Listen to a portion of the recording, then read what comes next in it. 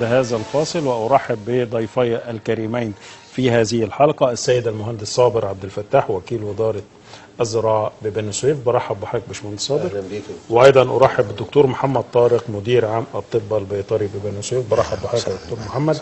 يعني الحقيقة إحنا سعداء إنكم دايما بتشرفوني في البرنامج. لمناقشة مشاكل المزارعين وحلها على الهواء مباشرة. ونحن في انتظار أهالينا من بني سويف علشان نتعرف على مشاكلكم واستفساراتكم ليتم الرد عليها على الهواء مباشرة. يعني أبدأ مع حضرتك يا باشمهندس صابر نتعرف على الموقف أو آخر الأخبار بالنسبة للزراعة في بني سويف ونبدأ بالقطن ومستحقات القطن وايه اللي تم هل تم الصرف ولا لسه؟ اولا آه، بسم الله الرحمن الرحيم كل سنة وحضراتكم طيبين وأسرة البرنامج طيبة وأنا سعيد جدا بلقاءاتنا اللي إحنا بنجيها هنا. أنا زي ما وضحت أكتر من مرة آه، إن البرنامج زاد نوع من الوعي عند المزارعين وقدرنا نوصل آه، لكتير قوي من المشاكل آه، الحقيقة ما كانتش بتوصل لنا. يمكن الحلقة اللي فاتت واللي قبليها ما كانش فيه مشاكل خالص. لأن إحنا أغلب المشاكل. تواصلنا معاها الحمد لله رب دي ملحوظة على فكرة في جميع المحافظات يا باشمهندس آه، الحمد لله يعني. الحمد لله رب العالمين. كل سنة وحضراتكم طيبين ومصر كلها طيبة بمناسبة مولد النبي الشريف وبمناسبة أعياد الميلاد. ودائما يا رب مصر في أمان ودائما يا رب في تقدم بإذن الله. إن شاء الله. آه، الحقيقة محافظه بني سويف إحنا كنا زارعين 4459 فدان.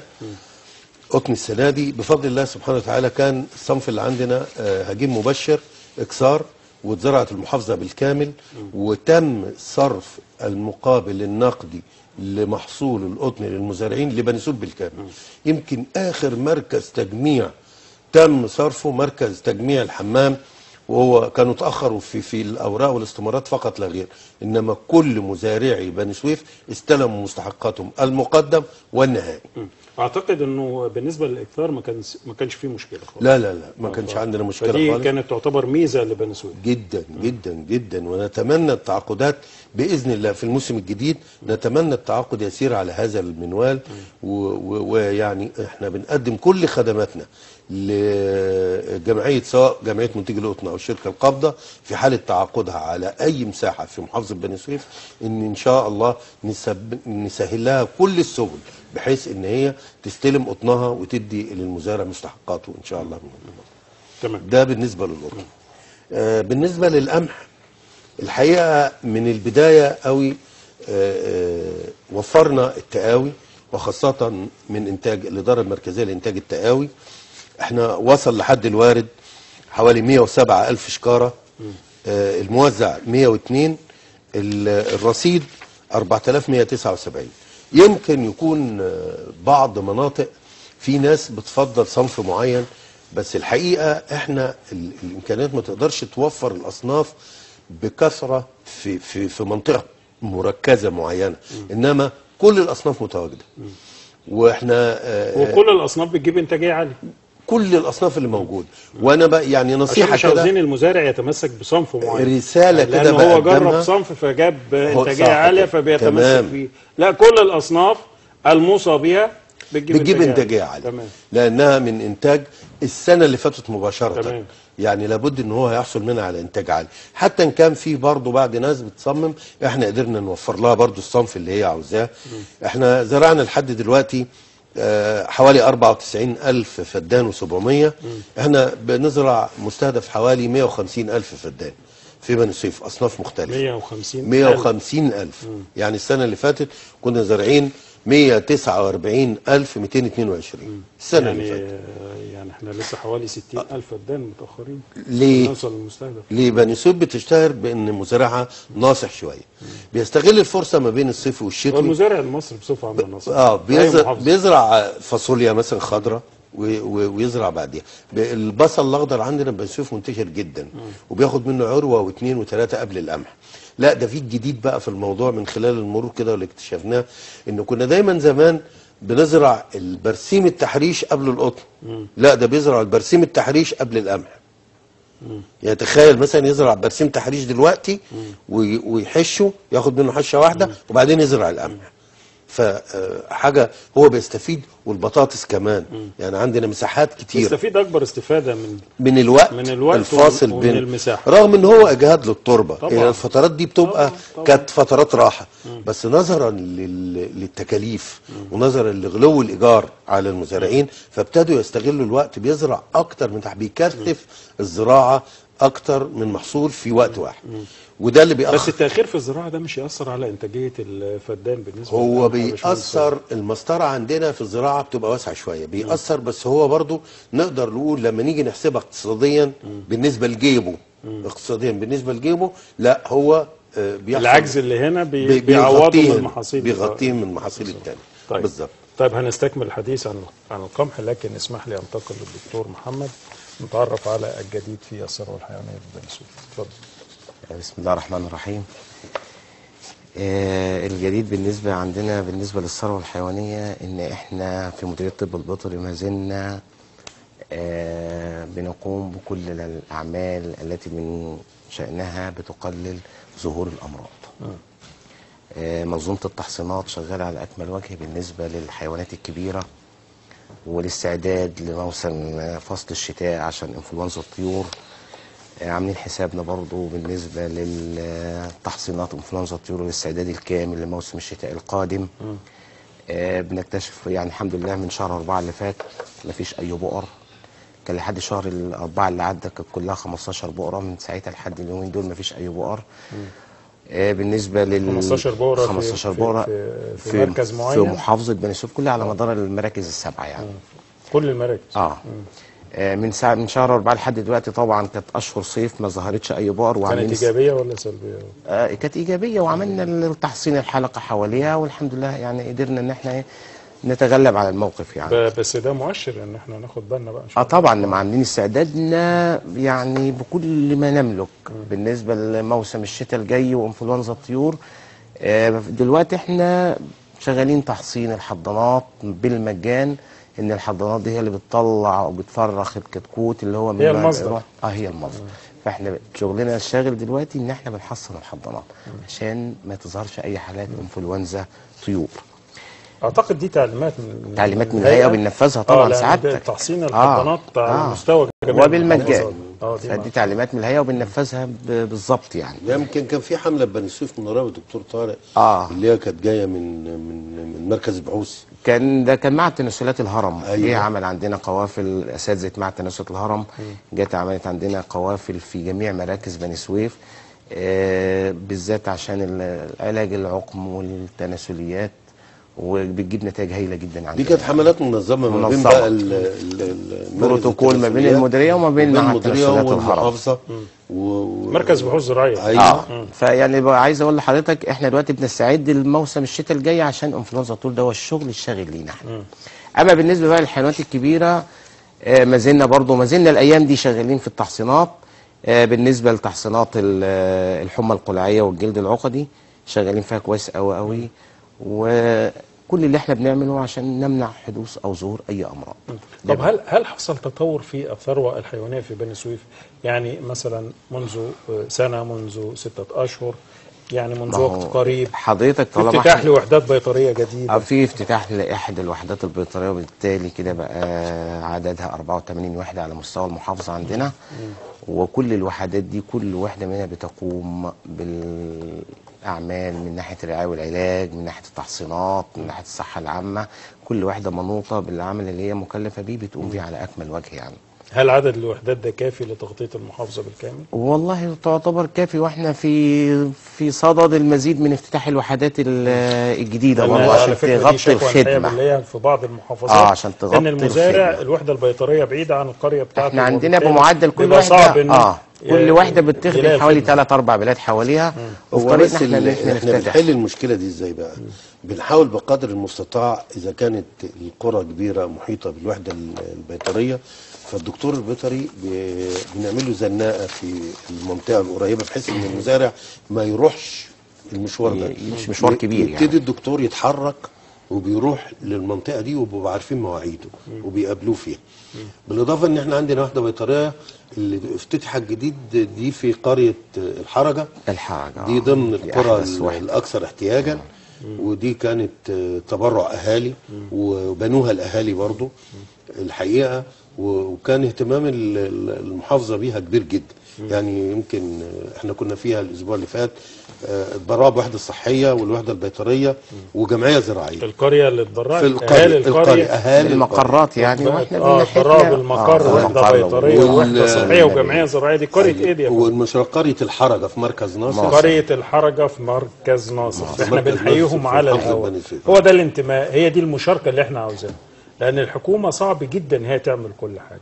صعب جدا هي تعمل كل حاجة. لكن خلينا نتعاون مع بعض من أجل الصالح العام. يعني لما قرية تتبرع بمكان لوحدة بيطرية ووحدة صحية وجمعية وجمعية زراعية زراعية. ده كلام رائع. إحنا بنحييهم على الهواء ونتمنى كل القرى تحذو آه، هذا الحذو. لا ده إحنا عملنا تطوير كمان في قريتين تاني. عملوهم المصانع مصانع الاستثمار أو مناطق الاستثمار في محافظة بني سويف. اللي هي قرية النواميس وقرية طيب يعني أنا أنا أنا هاجي لحضرتك بس بعد إذنك أستكمل الحديث. مع الدكتور محمد. فمن ناحية آه، زي ما قلت لحضرتك استعدينا كويس قوي قوي بالنسبة لإنفلونزا الطيور ماشيين بالبرنامج التحصينات بالنسبة للحيوانات الكبيرة. عندنا برضو خطة تطوير المجا... المجازر ويمكن آه، بالمناسبة دي أنا يعني بقول لحضرتك الدكتور طارق النهارده اعتذر على إنه يجي إنه كان بيفتتح مجزر جديد النهارده ومع السيد المحافظ يعني لسبب عدم مجيئه النهارده. فإحنا من ناحيتنا بنطور مجزر المنظومة. آه، آلي؟ مجزر نصف آلي؟ آه نصف آلي. في قرية دشطوط يعني بني تابع- بالكامل ما فيهاش مجزر آلي؟ عندنا مجزر نصف آلي في مدينة بني سويف وده التاني يعني. مفيش مجزر آلي كامل يعني. ليه ما يبقاش في كل محافظة على الأقل فيها مجزر آلي؟ إحنا بنأمل ذلك إن يكون عندنا مجزر يعني آلي. إيه إيه المعوق يا دكتور محمد؟ إيه؟ السبب يعني. التكلفة والأماكن والحاجات دي تكلفة كلها بس تكلفة، بس آه. تكنولوجيا حديثة وحاجة مطمئنة في طريقنا إحنا ما. هو يعني برضو حب- بحب أقول لحضرتك ما فيش إن تدخل بشري يعني. الجيش الجيش بدأ يطور منظومة المجازر كلها. فيمكن ربنا يسهل ويكون من ضمن التطوير إنه يعمل مجازر دي آلية. إحنا بنأمل ذلك يعني. يعني ممكن تطوير المجزر نصف ال- الآلي آه. إلى مجزر آلي. آه هو المبنى جاهز والأدوات جاهزة بس هيطوروا من نصف آلي لآلي يعني. وربنا يسهل. طيب بالنسبة للتحصينات أيوة يا باشا. الأمصار المتوفرة. متوفرة كويسة قوي. ومجرد ما بناخد عينة اشتباه وبنبعتها للمعامل المركزية في القاهرة بنبدأ تحصين حلقي حوالين البقره دي بقطر 9 كيلو من كل ناحية حوالين مركز البقره نفسها. ده بالنسبة للحيوانات الكبيرة يعني. تمام. طيب باشمهندس صابر نرجع تاني بقى للقمح. آه الأسمدة موقف الأسمدة إيه؟ والله آه، يعني مش عايز أقول لك إن أنا آه، يمكن الأسبوع اللي فات ده كان عندنا اجتماع وطلبت من السادة مدير عموم الإدارات إنه يعملوا مناشده في المساجد للناس تيجي تصرف الأسمدة. إحنا عندنا تكدس للأسمدة في المخازن بشكل آه، بصراحة غير عادي يعني. دي نمرة واحد. نمرة اتنين تكدس. تكدس.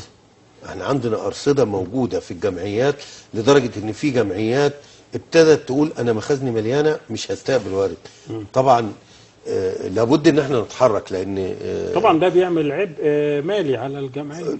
جدا. ورسوم. وبندفع والمزارع غرامات. يعني حاجة غريبة جدا المزارع شايف الأسمدة موجودة ما بيروحش يستلمها. يعني أنتوا دلوقتي بتتحايلوا على المزارعين يا باشمهندس؟ آه بنتحايل على إحنا المزارعين. وصلنا للمرحلة دي. طيب كويس ب- بس بس المزارع يروح يستلم مستحقاته يا جماعة ما ينفعش. أنا بناشد من خلال البرنامج أهو بقول لكل مزارع على سويف. المشكلة دي موجودة في في محافظات كثيرة آه جدا. يعني أنا بناشدهم آه اللي زرع قمح يروح يصرف مقرره كامل والبصل والثوم الجمعية اللي فيها رصيد يسمح يصرف مقرره كامل وإحنا بنصرف أصلا شكارتين من شهر 10 لحد دلوقتي من 16 10 بنصرف شكارتين لأي بطاقة. فاللي ما خدش يروح الجمعية الجمعية فيها أرصدة موجود. وأي مشاكل أنا تحت في جميع. المراكز. في جميع المراكز. في جميع في 221 جمعية على مستوى المحافظة. مش هقول لك في جميع المراكز لكن لما بيكون في أزمة الجمعية. في الأسمدة نلاقي المزارعين كلها عمالة بتجري على الجمعيات ويتصلوا بينا ومشكلة ومش لاقيين ولما سماد تقول لا يا جماعة الأسمدة موجودة في جميع الجمعيات على فكرة يا في ريت. جميع المحافظات لكن إحنا دلوقتي بنناشد إن المزارعين يروحوا يستلموا الاسمده لأن لأن وجود الاسمده في مخازن الجمعية عام- عاملة عبء مالي عليها فما ينفعش فايدة عالية. آه طبعا بتعمل فايدة عالية. آه وده هينعكس عليك هينعكس عليك في النهاية لأن ده عبء على الجمعية. روح خد السماد بتاعك وخزنه عندك. إذا ما كنتش عاوز تستخدمه خزنه عندك لأن ده حقك. وبس عايز أوجه النقطة هنا بس عشان خاطر الناس بتبقى فاهمة إن موضوع الأسمدة إحنا آه، بنتعامل مع الأسمدة على نسبة أزوت للنبات نفسه. يعني آه، على ال- الكميات اللي هو محتاجها. تطلع بقى يجي للجمعية آه، يوريا 46% ماشي. بنحسبه على ذا أو مشكلة. نترات مفيش مشكلة. أو نترات فرميكس مفيش مشكلة. ونترات يعني هي الفرميكس ثلاثة يوريا بالذات- أو خمسة نترات. أو خمسة نترات. ال- ال- الرصيد ده متوفر وأنا بناشد كل مزارعي بني سويف يقبلوا على الجمعيات وأي مشاكل إحنا تحت أمرهم فيها. أنا بسهل كل كل المواضيع. من ثلاث قراريط لأربع قراريط لخمس قراريط لست قراريط بنصرف ما يعني يعني ايا كانت المساحة. ايا كانت المساحة يتقدم بس وإحنا نحل له مشكلته ونصرفه. وطبعا لو في جزء بيبقى لصالح المزارع. وعلى فكرة إحنا بنصرف من غير حصر ده. إحنا بنصرف على محضر إثبات حال يعني زرع النهارده. رايه راية الزراعة النهارده. يعمل محضر إثبات حال النهارده يصرف النهارده. ما بستناش حصر الحوض. لا. اللي زرع في نفس اليوم يصرف في نفس اليوم. ما يستناش حصر ده كلام جميل. الكلام ده آه، آه، تعليمات واصلة لحد الجمعيات. لحد رؤساء الوحدات. لحد أمناء المخازن. إن الصرف يكون على محضر إثبات حالة بالزراعة الفعلية. ما تستناش حصر ما تستناش حاجة. المزارع ياخد حقه الأول وبعدين أنت رتب ورقك بقى واعمل ورقك بالظبط براحتك بعد كده ما فيهاش مشكلة بالنسبة لي ده, ده كلام جميل. نأمل إن يعني- شاء الله في آه. موسم طيب. آه أنا بس في حتة كده. بس نأمل برضو إن المزارعين يستعجلوا في الزراعة. آه لأن يعني كده يعني إحنا بنتكلم على 60 ألف لسه ناقصين على المستهدف في بعض المحافظات. قربت من المستهدف وبعضها عدى المستهدف. أعتقد فعاوزين بني سويف بني سويف طبعا محافظة رائدة في الزراعة في جميع المحاصيل. عاوزين يعني المزارعين يشدوا حيلهم شوية. السده الشتوية أعتقد إنها تجيب المساحه دي لأن إحنا هنبدأ السده الشتوية إن شاء الله من من اول من نهاية الشهر ده. يعني هم واخدين دلوقتي رايه عامة.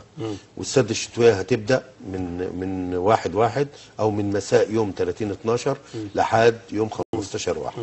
فبرضه بناشدهم اللي مستعد للزراعة في دلوقتي رايه عامه يجب انه يستغل الفرصة دي و- وإن شاء الله يزرع عشان خاطر ما يجيش في السد الشتوي يقول لي بقى أنا عايز أزرع دلوقتي. آه آه آه يعني أنا بس تبقى مشكلة عشان آه المية. يعني عشان المية. طيب آه، استسمع حضرتك معانا أولى المداخلات. علي من بني سويف. ألو؟ ألو؟ ألو؟ ألو. أيوه يا دكتور. أيوه اتفضل. أيوه يا دكتور حامد أنا عايز أكلم الحاج صابر النبي لو سمحت. أهو معاك على الهوا بس علي صوتك شوية من فضلك. ماشي يا باشا معاك يا عم علي. السناد رحنا نصرف قالوا لنا نص شكرتين للفدان آه. جمعية إيه؟ جمعية بيبه بندر بيبه جمعية بندر بيبه آه. خدت الشكرتين للفدان. زرعت يا عم علي؟ صو- صور البطاقة صورنا البطاقة. قالوا الكمية الثانية صور البطاقة. عايز يعني شغالين في موال السنة كلها وإحنا مش فاضيين. آه انت يا عم علي. اتفضل. عم علي انت حضرتك زارع إيه؟ زارع قمح وزارع بصل وزارع عنب كل لا انت. خدت الشكرتين الشكرتين اللي انت على. زراعة إيه؟ على زراعة بتوع إيه؟ البصل بتوع البصل. طيب خدت للقمح مقررك كامل؟ لسه ما خدتش. طيب يا عم علي بكرة إن شاء الله روح الجمعية خد مقررك كامل وفيها رصيد على فكره يعني جمعية البندر كام طيب؟ المقرر بتاعي. إيه؟ كامل ثلاثة يوريا أو خمسة نترات للقمح. طب ما عندناش نترات خد يوريا خد اللي موجود يا عم ثلاثة لوريا اعمل بقى القمح اديله لوريا أنا عايز اديله استنى لما تيجي النترات يا عم علي ما هي دي زي دي يا حاج علي. بيقولوا لنا مفيش يا فندم. لا يا عم علي. اتفضل. عم علي أيوة إحنا باشا. آه، اما بنيجي نوزع للنبات نفسه إحنا ليه بنديك ده من ده ثلاثة ومن ده خمسة؟ إحنا عندنا ما هو ليه؟ عشان ده فيه ستة كل بيبقى 100 كيلو بس اسمعني يا عم علي. اسمعني يا عم علي. اسمعني. اتفضل. ال ال- ال 100 كيلو كل 100 كيلو في اليوريا فيهم 46 امم ال ال 33 كل 100 كيلو فيهم 33 لذلك بنديك خمسة من ال 33 و100 أما ان أنا أتحكم في إن المصنع يديني 33 لجمعية ويوريا الجمعيه دي ما حدش يقدر يتحكم فيها. إحنا الحمد لله إن إحنا عندنا متوفر. السماد موجود يا حاج السماد متوفر. خده و- وضيف وضيف ال- ال- ال- السماد بتاعك في ميعاده. أفضل من إنك أنت ما تضيفوش. طب إحنا كلمنا الحاج محمود على زي على أساس يدينا شكاره زيادة للقمح يخليها أربعة. قال أنا عندي اجتماع يوم الاربعاء وهتكلم في الموضوع ده. لا يا حاج علي ما انت تاخد زيادة ليه يا حاج علي؟ حاج علي. هو ليه الطمع ده؟ هو المقرر السما... حتى لو موجود خد بالك التسميد الزايد ده هيضر النبات وهيضر الأرض. خد بالك. المقرر ستة ده اديني بس. اديني بس اسمك كامل يا عم علي. سيب بياناتك في الكنترول يا حاج علي. سايبها والتليفون وكله طيب سيب. بياناتك طيب، في. الكنترول. في عندك مشكلة تاني؟ مفيش مشاكل تانية هو كده هنحلها لك يا حاج علي، النص حاضر. بكام سيادتك؟ النص بكام؟ حاضر. الشكارة بكام عنده الشكارة إيه؟ سعر الشكارة؟ إيه؟ آه، اليوريا تقريبا ب 100 جنيه والنترات ب 100 جنيه. 95 آه طيب إحنا بندفع فيها مقابل 105 الشكارة. 105 عشان بتدفع عمولة الخدمة. كل مرة هدفع عمولة خدمة كل مصرف أنت يا عم يا عم علي عم علي عم علي. أنت عضو أنت عضو في الجمعية وليك مجلس آه. إدارة وعموله الخدمة بيقررها مجلس الإدارة. أنت حضرتك مع مجلس الإدارة يا رب تعملوا جمعية عمومية والغوها ما عندناش مشاكل. دي ملهاش دعوة. اسمع بس يا عم علي. يا عم علي لو سمحت اسمعني. طيب بنشكرك يا حاج علي هو التليفون قطع. آه. عاوزين نوضح لجميع المزارعين على مستوى الجمهورية. بالنسبة لعمولة الخدمة دي لا تخص الوزارة. نعم. الوزارة بتقول شكارة اليورو ب 100 جنيه. لكن مجلس إدارة الجمعية بيقول بيحصل 5 جنيه على الشكارة. خدمات أو عمولة نظن إنه أي بيأدي. خدمات للعضو. ماشي يبقى دي تخص مجلس إدارة الجمعية ولا تخص الوزارة على الإطلاق ولا مديرية الزراعة. على الإطلاق. علشان بس نبقى عارفين. آه، ممكن بقى زي ما قال باشمهندس صابر المزارعين يجتمعوا مع مجلس الإدارة ويطلبوا إن عمولة الخدمة دي آه، تتشال أو تبقى أقل أو من 5 أقل جنيه من أو- خمسة أو وبعدين في- في يا جماعة. ما هي خدمات بت... بتؤدى يعني يعني 5 جنيه أعتقد. مش مشكلة يعني مش مشكلة. في السنة. مم. في السنة آه طبعا. ب 5 جنيه في السنة عمولة خدمة. ما مش كتيرة يعني. عموما هي لا تخص آه، لا لا الزراعة. لا لا تخص لكن الزراعة. تخص دي تخص آه. الجمعية العمومية ومجلس الإدارة. بالظبط. بالظبط. يعني واضح هو الحقيقة واضح إنه ما فيش مشكلة لا الاسمده لا موجودة. الاسمده موجودة. آه بس هو عايز واحدة زيادة. عاوز زيادة. عايز 33 أحمر بدل أخضر كده يعني. عاوزين نوضح للمزارعين بعد إذنك يا باشمهندس صابر إيه الأضرار الناجمة عن زيادة التسميد؟ يعني أنا لو زودت التسميد إيه اللي ممكن يحصل؟ أول حاجة في زيادة التسميد اللي هم بيشكوا منه الرقاد ليه؟ لأن زيادة التسميد الأزوتي بتؤدي إلى زيادة النمو الخضري وبالتالي كثافة نباتية عالية وبالتالي هو لما بيسقي والريح يقوم القمح كله بيرقد ويجي يقول القمح مش مقام للرقاد طب ما أنت اللي عطيته زيادة. أنت خليته رخو. هو متحدد له نسبة في مركز البحوث الزراعية. أنا اديله النسبة دي. دي أول حاجة. الحاجة الثانية إن متهيألي العاقل يعني ما بيطلعش فلوس من جيبه يرميها في الهواء. طبعا طبعا. الزيادة بقى اللي هو بيحطها دي يعني هو مقرر له ثلاثة هو عايز يحط أربعة. طب ال 100 جنيه الزيادة دي هتعود عليه بإيه؟ ما هتعودش عليه بحاجة. ده هتعود عليه بضرر. بضرر بالرقاد يبقى ضرر مادي من ناحية إن هو بيرفع التكلفة بتاع المحصول ويجي ما بيجيبش معاه إنتاج.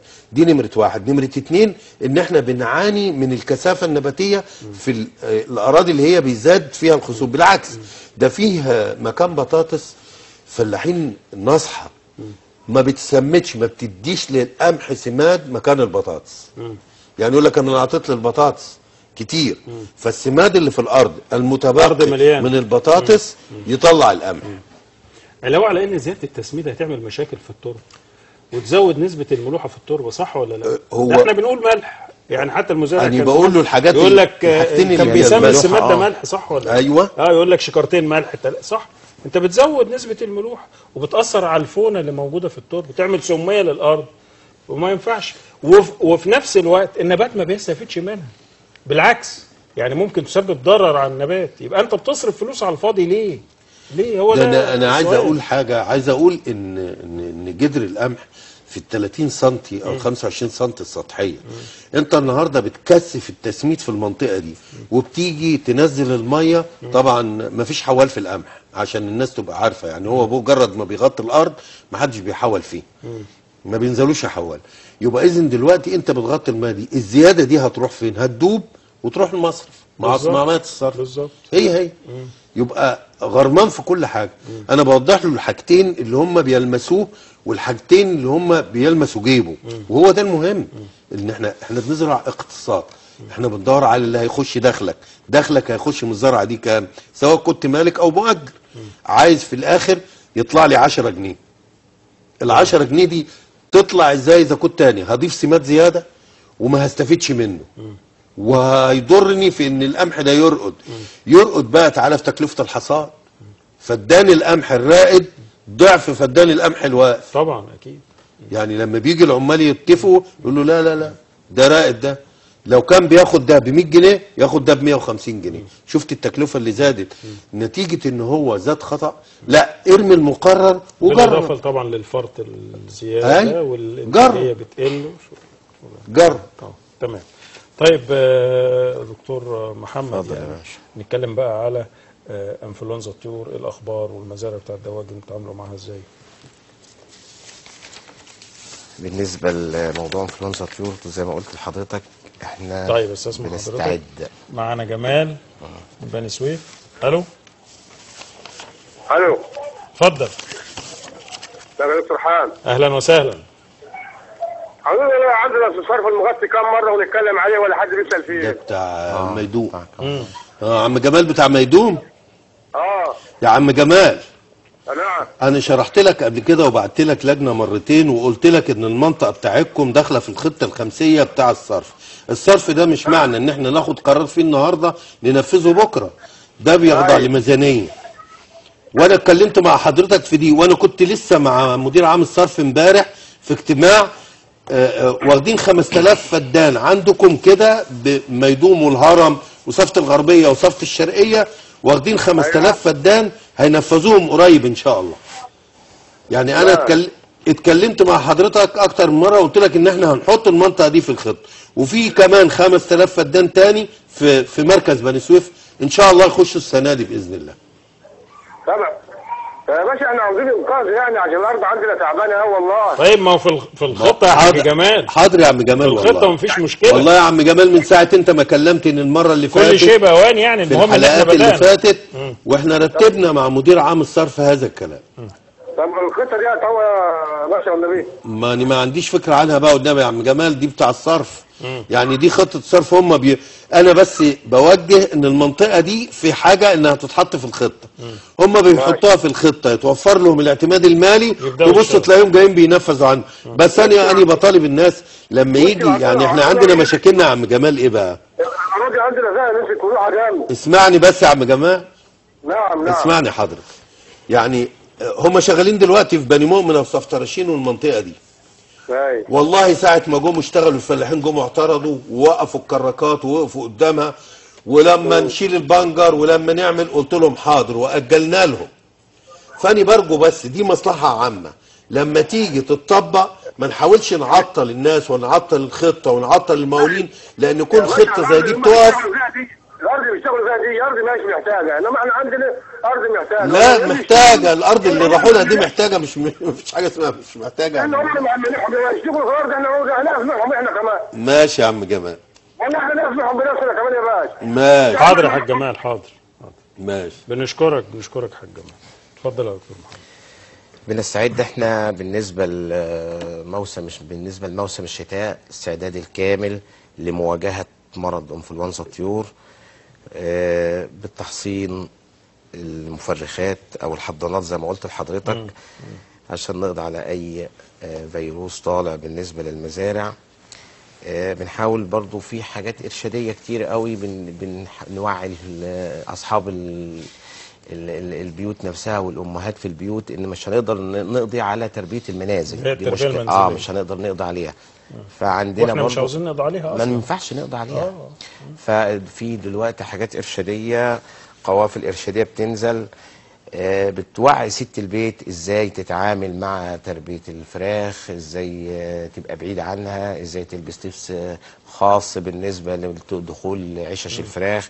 آه، ما تاخدش معاها الأطفال فوق. آه، لما تيجي تذبح فرخة تعمل فيها إيه؟ تذبحها إزاي؟ وتحطها في كيس إزاي؟ وتحطها في مية سخنة؟ وكل الحاجات الإرشادية دي إحنا بنوعي ست البيت.